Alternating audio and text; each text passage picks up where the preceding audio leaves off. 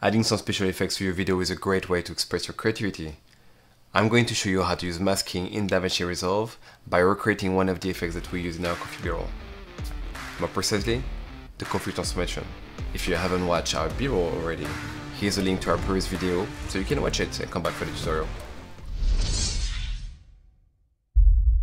One thing I want to address before starting the video, I caught a cold and I'm losing my voice, uh, so I hope it's gonna be okay. This b-roll isn't FX heavy, but there's two scenes where we knew we wanted something special. The coffee transformation and the makeup effect.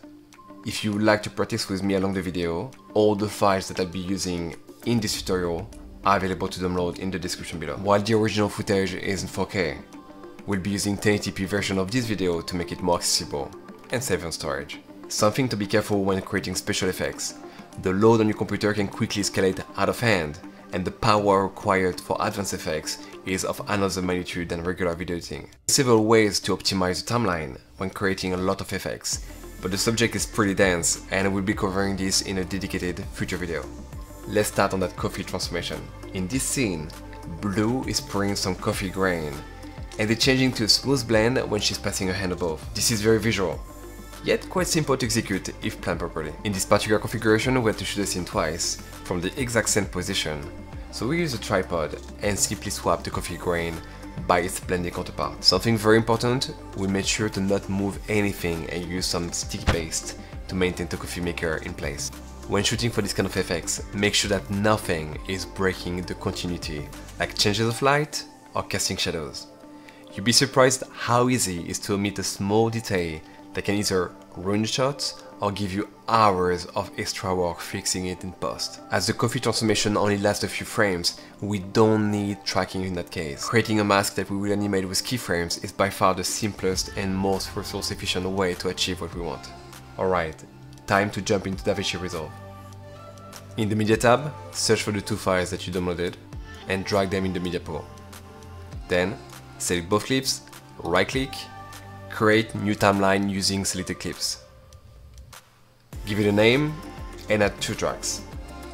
Click create, jump into the edit tab, and here you will find your new timeline with directly the two files added one after the other. First part and second part. Let's play it once and see what we have. Okay, blue is collecting the grain, pouring into the coffee maker, passing above, and we have a second clip. Alright, now that our timeline is in place, grab the first clip, bring it to the upper track, bring the playhead to the moment where blue is covering the coffee. This is the moment where our transition will occur. Select the second clip and align it to the playhead. Okay, that should be good. To reduce the amount of frames rendered in Fusion, you can cut the clip just before the transformation. This is a good habit and will save you a lot of time when working on bigger projects.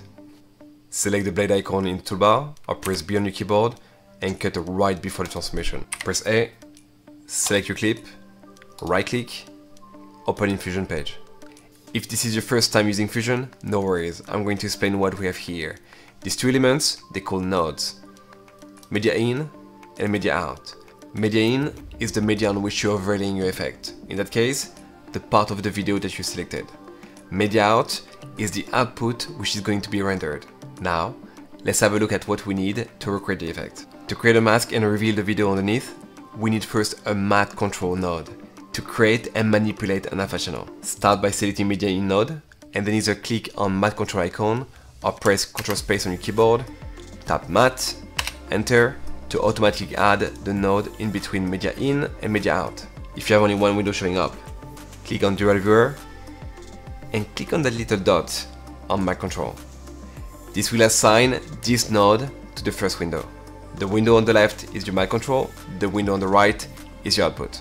With the matte control node selected, go to settings and check both apply mask inverted and multiply by mask.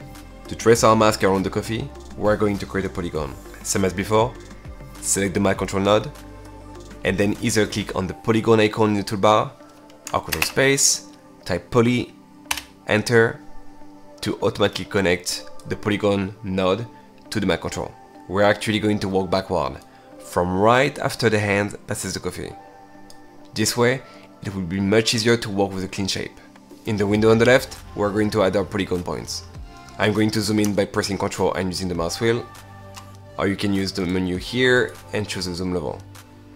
We're going to add 1, 2, 3, 4, 5, 6, 7, and 8 points. And close the loop. This is our mask, but right now it's not very round. Let's fix this by dragging the mouse over all the points and clicking smooth in the toolbar. There you go, much better. If you need to align, just move the mask around or move individual points. We're going to make a quick jump to the edit page to have a look at the effect. Great, the mask is working.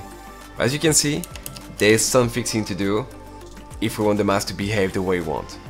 Let's jump back into Fusion. And here, we're going to animate the mask frame by frame. Select the polygon node and go one frame before the existing keyframe. And here, we're going to move some points to match the hand passing above. Just drag point by points and use the handles to adjust the curve. You can always come back and adjust to make it perfect, but honestly, better get it right from the beginning. Next frame, as you can see, the moment where you modified the polygon, it added automatically a keyframe. I'm going to drag these three dots